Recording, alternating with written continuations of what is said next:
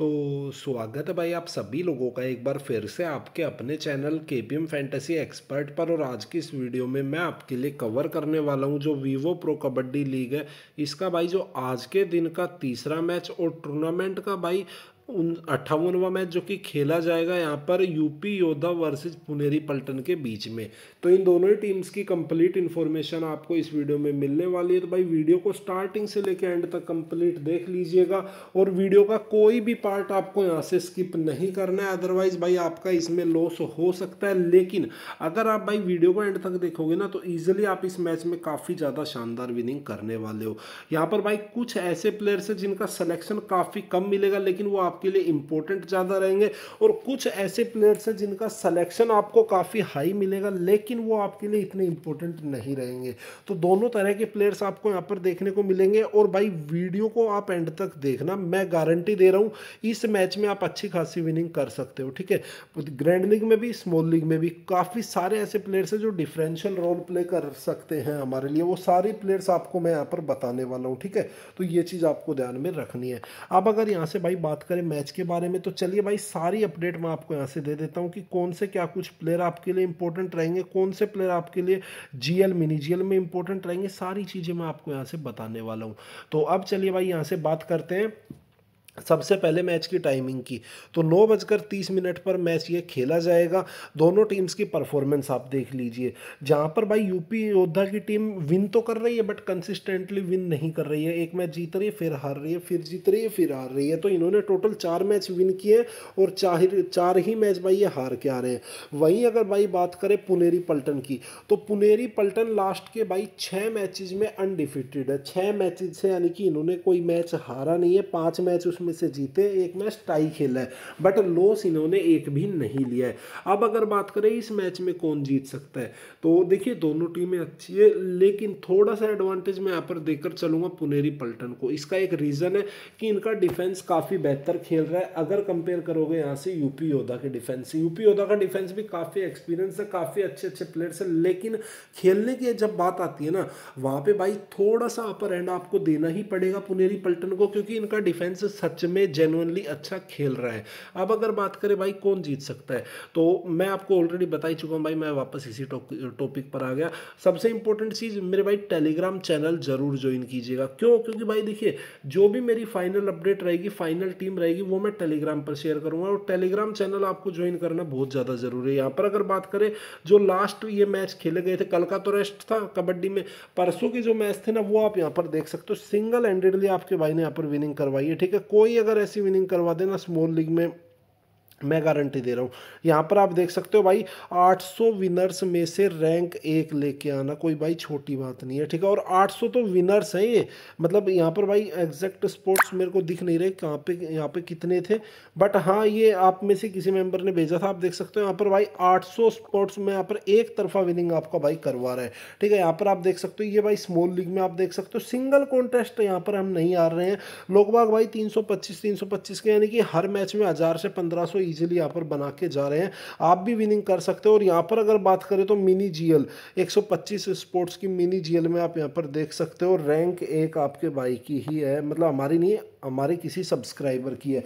इसीलिए मैं आपको बार बार बोलता हूँ, भाई टेलीग्राम पर आपको फाइनल टीम तो मिलेगी मिलेगी, लेकिन जो इंपॉर्टेंट अपडेट होती है ना ग्रैंड लीग की, वो भी मिलती है, साथ ही साथ दो ग्रैंड लीग की टीम भी मिलती है।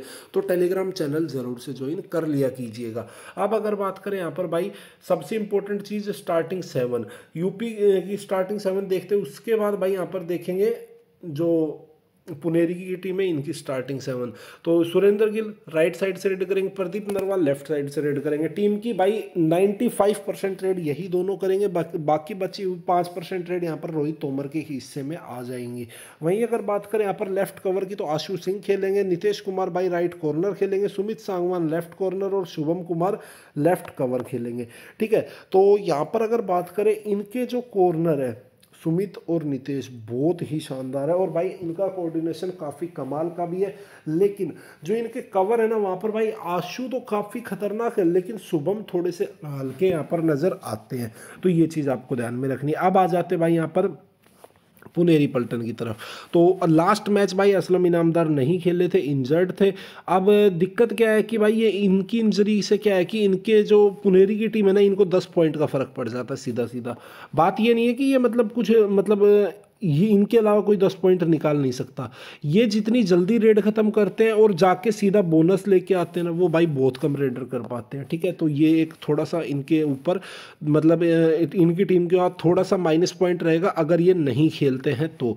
इनकी जगह पर लास्ट मैच में आकाश शिंदे खेले थे, जो कि ठीक ठाक परफॉर्मेंस देखे गए थे।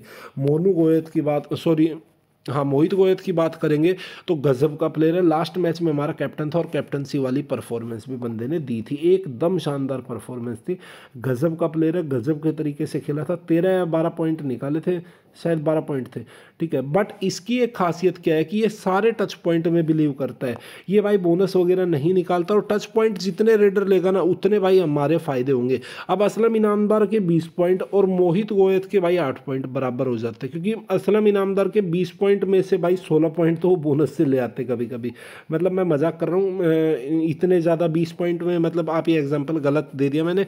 हाँ दस पॉइंट में आप ये मान सकते हो कि छः पॉइंट उसके बोनस के आएँगे तो चार ही पॉइंट उसके टच के आएँगे। ठीक है? तो ये चीज़ आपको ध्यान में रखनी है। वहीं अगर बात करें मोनू जो मोहित को थे, बारह पॉइंट लेके आएगा तो ग्यारह टच के लेके आएगा, और भाई दस मतलब जो एक पॉइंट है वो बोनस। अभी लास्ट मैच की इसकी परफॉर्मेंस मैं आपको दिखाता हूँ यहाँ से। आपको खुद पता लग जाएगा क्या कुछ यहाँ पर मोनू गोए यहाँ पर आप सॉरी, मोहित गोए यार यहाँ पर आप देख सकते हो, ठीक है? ग्यारह टच पॉइंट, और यहाँ पर भाई टोटल बारह पॉइंट थे और भाई एग्जैक्ट इन्होंने वही किया है। ग्यारह टच पॉइंट और यहाँ पर भाई एक बोनस पॉइंट अब डिफरेंस क्या है कि अब बोनस पॉइंट का पॉइंट तो मिल गया रेडर को, बारह पॉइंट हो गए, ठीक है? लेकिन यहाँ पर जो हमें है ना ड्रीम इलेवन पर, वो सिर्फ़ दो पॉइंट मिलेंगे टच के भाई हमें आठ पॉइंट मिलेंगे। तो ये चीज़ आपको ध्यान में रखनी है, ठीक है? और सुपर टेन करता है, उसके अलग और टैकल भी कर लेता है तो आपके लिए बहुत शानदार प्लेयर रहेगा, ठीक है? हंड्रेड परसेंट ट्राई करेंगे। असलम इनामदार अगर खेलेगा तो अच्छी बात है, नहीं खेलेगा तो भाई कर ही क्या सकते हैं? मोहम्मद इसमाइल नबी वक्त लगातार फ्लोप चल रहा है। मेरे को लग रहा था कि यार शायद असलम के ना होने पर इस्माइल नबी बख्श चलेगा, क्योंकि इन्हें रेट ज़्यादा मिलेगी, लेकिन ये फिर भी नहीं चले भाई। Sanket Sawant right corner right cover खेलेंगे। वहीं अगर बात करें जादव वाला शायद लेफ़्ट कवर खेलेंगे। सोमवीर लास्ट मैच में भाई खतरनाक परफॉर्मेंस सोमवीर की परफॉर्मेंस आपको दिखाता हूँ। लास्ट मैच शायद आई फाइव भी कंप्लीट किया था। नहीं, चार टैकल थे भाई आई फाइव नहीं हुआ था कंप्लीट काफ़ी अच्छे खेले थे चार टैकल लिए थे। वहीं अगर बात करें फजल अतर चली भाई लगातार बेहतरीन खेल रहे फजल अतर चली लेफ़्ट कॉर्नर पर खेलेंगे। यहाँ पर आप देख सकते हो, चार ही टैकल इन्होंने भी मार दिए थे। भाई, बड़ा खतरनाक प्लेयर है, ठीक है? हंड्रेड परसेंट आपको ट्राई करना है। अब अगर बात करें भाई यहाँ पर प्लेयर बैटल की तो यहाँ पर देखिए, सुरेंद्र गिल राइट साइड से रेड करेंगे। ये किसके पास जाएँगे? जाएँगे लेफ़्ट कॉर्नर पर। लेफ़्ट कॉर्नर है कौन? यहाँ से फजल अतर चली तो फजल अतर चली के सामने से सुरेंद्र का पॉइंट निकाल निकालना काफ़ी ज़्यादा मुश्किल हो जाएगा। ठीक है लेफ़्ट कॉर्नर पर से। अब अगर वहीं अगर बात करें इनके राइट कॉर्नर जो कि सोमवीर, अब सोमवीर भी लास्ट मैच में अच्छे परफॉर्मेंस देख के आए थे तो इनके सामने कौन जाएगा भाई? इनके सामने ऐसे जाएँगे प्रदीप और रोहित। तो सोमवीर भी आपके लिए इंपॉर्टेंट रहेगा। दोनों प्लेयर आपके लिए बहुत इंपॉर्टेंट रहेंगे यहाँ से। ठीक है, इसके अलावा अगर बात करें इनके रेडर्स तो इनके भाई मोस्टली रेडर राइट साइड से रेड करेंगे। अगर यहाँ से बात करें मोहित मोहम्मद इसमाइल नबी बख्श दोनों ऑलमोस्ट राइट से करेंगे, असलम लेफ़्ट से जाते हैं, ठीक है? तो ये चीज़ आपको ध्यान में रखनी है। पहले राइट तो इनका लेफ़्ट कॉर्नर कौन है? इनका लेफ़्ट कॉर्नर भाई सुमित सांगवान आज के मैच में इनका बड़ा काम रहेगा, ठीक है? अगर यूपी को जीतना है तो तो ये चीज़ आपको ध्यान में रखनी है। अब सुमित सांगवान का साथ कौन देंगे? राइट कवर देंगे आशु सिंह। तो आशु सिंह और सुमित सांगवान आपके लिए मस्ट पिक प्लेयर यहाँ से हो जाएँगे। चलिए अब टीम बनाने की कोशिश करते क्रेडिट इशू आएगा, वो भी मैनेज करेंगे। बाकी देखते क्या होता क्या नहीं, और ट्राई करते हैं ऐसे टीम बनाने की। तो ऐसे भाई तीनों तो हम ये रेडर लेके चलेंगे। अब भाई हमें मैनेज करने क्रेडिट ठीक है? तो यहाँ से गुरदीप सच में गुरदीप लास्ट मैच में भाई क्या ही खेला था बंदा। अगर स्टार्टिंग साइन में होगा तो भाई मेरी टीम में हंड्रेड एंड वन परसेंट ये रहेगा। अभी के लिए मैं आशु सिंह को ड्रॉप करके चलूँगा। रीज़न क्या है? क्योंकि भाई क्रेडिट इशू है तो क्रेडिट मैनेज करने के लिए भाई कुछ ना कुछ तो करना पड़ेगा। लोग सुरेंद्र गिल को ड्रॉप करके आ रहे बट मैं सुरेंद्र गिल को ड्रॉप करने का रिस्क शायद ना लूँ इस मैच में। ठीक है? फजल अतर चलिए हमारे लिए मस्टर पिक हो जाएँगे। इसके अलावा भाई यहाँ से सुमित आप, आप आज आपके लिए इंपॉर्टेंट रहेंगे। यहाँ से सोमवीर को मैंने ट्राई कर लिया और सुमित को ट्राई कर लिया। अब यहाँ से आशु को मेरे को ट्राई करना बट भाई, वही बात है क्रेडिट मैनेज नहीं हो पाएँगे। तो देखते हैं, अगर गुरदीप खेलता तो फिर गुरदीप के साथ ही चले जाते हैं। बाकी देखते हैं क्या करना क्या नहीं करना। फाइनल टीम जब भी बनाएँगे तो वहाँ पर क्रेडिट को देखते हुए टीम बनाएँगे। कैप्टनसी यहाँ पर भाई, मैं, अब देखिए, यहाँ पर एक चीज़ मैं आपको दिखाता हूँ। ठीक है? तो यहाँ से भाई देखिए, अभी सुरेंद्र गिल का पॉइंट आप देखिए। 112 पॉइंट इन्हें फैंटेसी के 112 पॉइंट मिले और इन्हें, इनके भाई रेड में नौ तो टच और चार बोनस टोटल इन्होंने 13 पॉइंट निकाले, ठीक है? 13 पॉइंट के भाई इन्हें 112 पॉइंट मिले। और यहाँ पे आप डिफरेंस देखना है यार। सुरेंद्र का देख लिया, अब मोहित का देखो। मतलब पॉइंट इन्होंने बारह निकाले, लेकिन यहाँ पर पॉइंट एक तो ये डिफरेंस आ जाता है भाई। ये ऐसे प्लेयर्स का डिफरेंस ये मैटर करता है। तो कैप्टनसी मैं मोनू सॉरी मोहित को दूँगा। वीसी की अगर बात करें तो वीसी भाई आप यहाँ से फजल को दे सकते हो। ठीक है। या फिर भाई आप यहाँ से प्रदीप को दे सकते हो। मैं अभी के लिए प्रदीप को दे रहा हूँ। यहाँ से अगर बात करें भाई टीम के प्रिव्यू की तो वो आपके सामने ये ऑलमोस्ट ऑलमोस्ट फाइनल टीम है। बाकी कुछ भी अगर चेंजमेंट होता है तो उसकी इन्फॉर्मेशन डायरेक्ट आपको मेरे टेलीग्राम चैनल पर मिल जाएगी। टेलीग्राम चैनल भाई ज़रूर से ज्वाइन कीजिएगा। लिंक आपको इसी वीडियो के नीचे डिस्क्रिप्शन में मिलेगा। यहाँ से अगर टीम के प्रिव्यू की बात करें, वो आपके सामने ऑलमोस्ट मैंने अपनी फाइनल टीम आपको दे दी है।